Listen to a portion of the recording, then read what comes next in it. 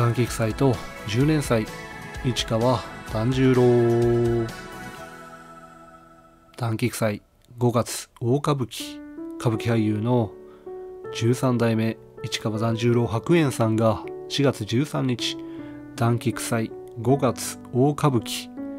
歌舞伎座で5月2日から27日に行われる。取材会に出席した。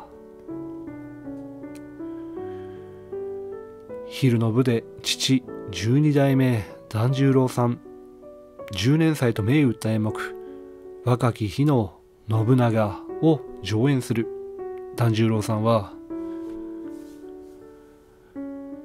今これができることに感謝したい。祖父に当て書きされた作品を祖父が上演し父が受け継ぎ私も上演している。改めて台本を読んでみると祖父や父の時代には早すぎた。今の人に理解される作品今の時代にフィットした古典になってきたと力説した。若き日の信長は11代目祖父は6回12代目父は9回13代目團十郎さんはこれまでに3回演じており成田やゆかりの作品として演じてきた。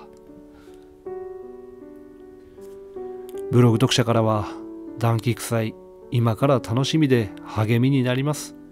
若き日の信長を楽しみにしております。などの声が寄せられている。祖父と父と私の信長市川團十郎。